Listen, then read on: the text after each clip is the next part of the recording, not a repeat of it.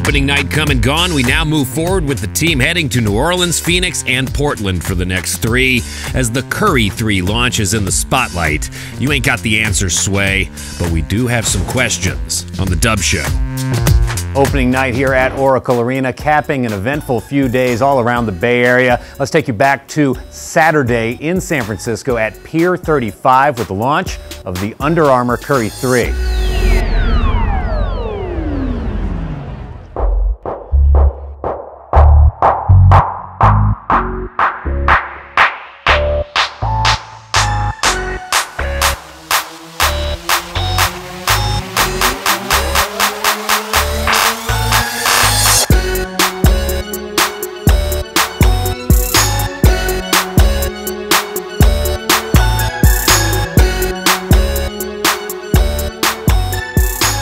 Being in the Bay Area, celebrating basketball, celebrating all that we do on the floor, but also inspiring the next generation of kids, next generation of everybody to do you know great things and to pursue excellence. That's what we're all about. So uh, that's the message that we want to pass on, and we want to have some fun too, right?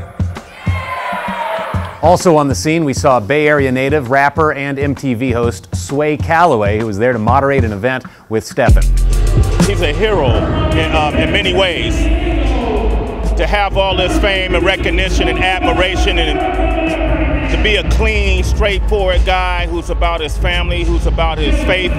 Um, he's always stepping inside the community. He doesn't run away from the children.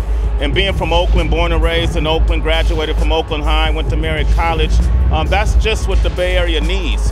So I've been seeing a lot of growth in the Bay Area as of late.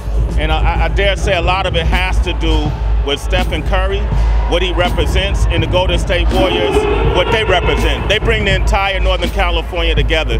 So to see three versions of this shoe now, um, I got the Curry threes on right now. They're extremely comfortable. I feel like I got, you know, my pivot game feels ill. I feel like Stephen Curry right now, you know, but also in terms of pop culture, I mean, there's not another basketball player right now that's being mentioned by more rappers. I mean, whether it's Lil Uzi, whether it's Lil Wayne, whether it's The Game, whether it's Drake, whether it's Future, uh, Quavo from the Migos. I mean, everybody is utilizing his name as a, as a simile, as a metaphor. And when you reach that type of success, uh, that's a big deal. That's equivalent to having an NBA ring in, in hip hop. Cool to talk with Sway and see French Montana perform. And the Curry 3 launch, not the only debut this weekend. We also saw episode one of Ayesha's Homemade, the new show on the Food Network with Curry family and friends taking part. We can settle this on the court. Get it. Get it. You gotta play horse. Now the food's gonna be getting cold. We should play four-letter game. How about buns? Let's go. All right. This is Curry versus Curry.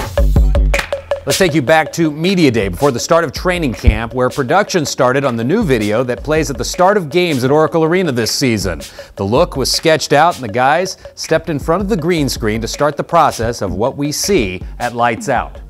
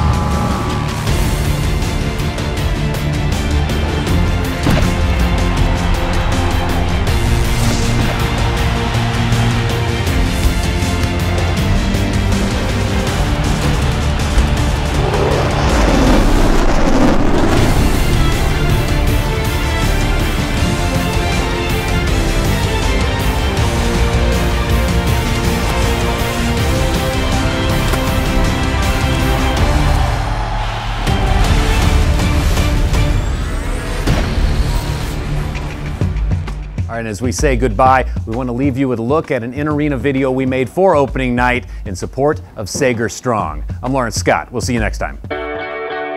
The Warriors are proud to support the efforts of the Sager Strong Foundation and broadcaster Craig Sager in his ongoing fight against leukemia.